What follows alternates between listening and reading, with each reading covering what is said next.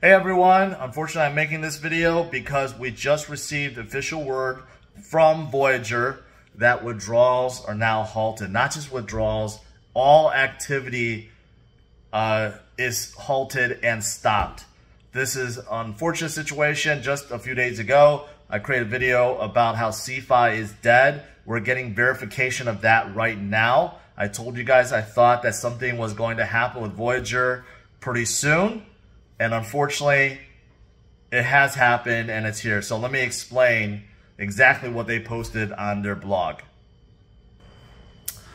So this was just posted not too long ago, uh, July 1st, and it was emailed. I've been getting emails left and right from people telling me about this, and unfortunately, this is reality.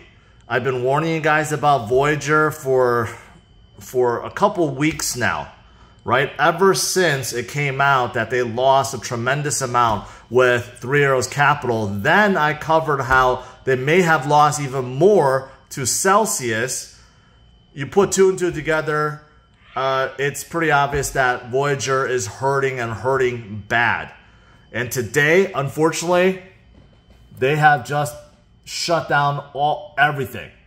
Everything. Okay? So uh, take a look. Suspension on trading, deposits, withdrawals, and loyalty rewards.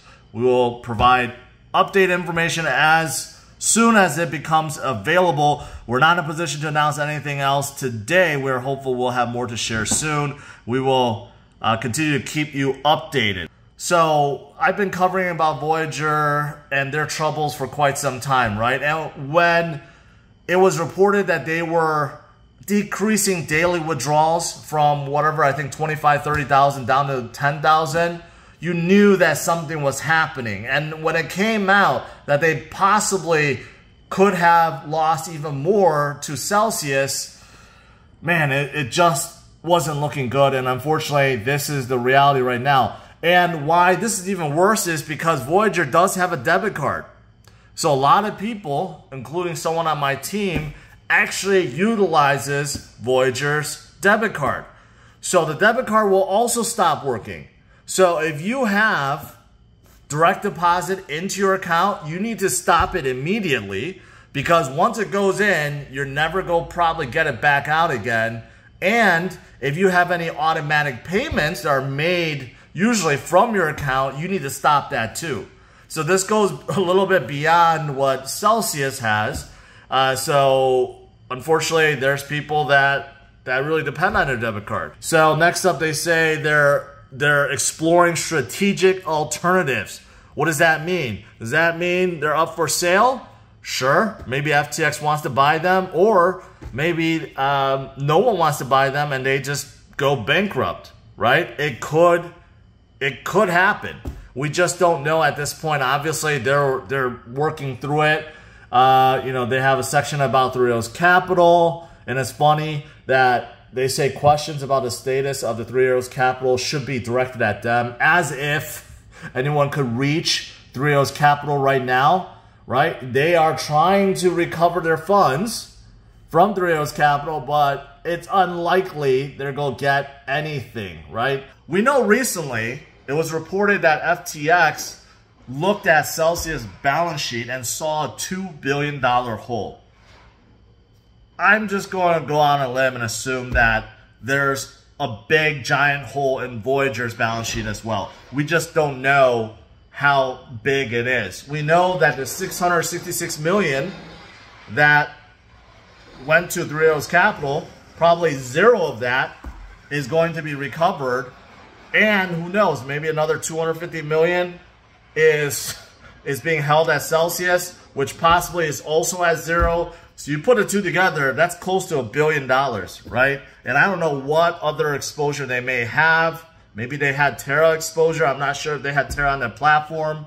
But yeah, this is the reality. And I'm, I'm sorry to report it, but hopefully every one of you guys watching have watched my previous videos talking about this, talking about to safeguard yourself, to remove your crypto and put it into your own wallet because right now it's very, very scary. And hopefully you guys listen, especially with Voyager, because we already knew the writing was on the wall that this was coming, right? So that's pretty much it, guys. Just sharing with you guys in case you didn't get an email, you didn't go on Twitter, you didn't see their blog post. This is what's happening. Will they ever open up withdrawals again? Who knows at this point, but I'm guessing probably not. Just like Celsius, um, you know, they're going to try to figure things out, and I don't know they could get enough liquidity since they already have a 500 million credit line from from FTX.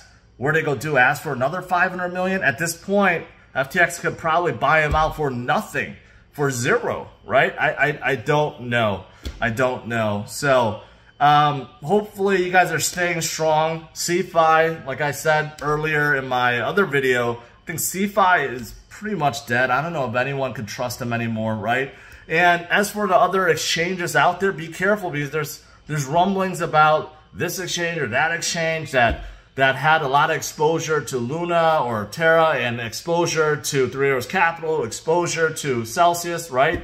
Right now, there's a lot of rumors swirling around. So be very careful with your own funds right now right? Be very, very careful. You don't want to be in a situation where your funds are locked up and possibly gone forever. All right, that's it, guys. Stay strong and stay tuned for my next video tomorrow, 11.30 a.m. Central Standard Time. All right? Have a good one, guys. Bye-bye.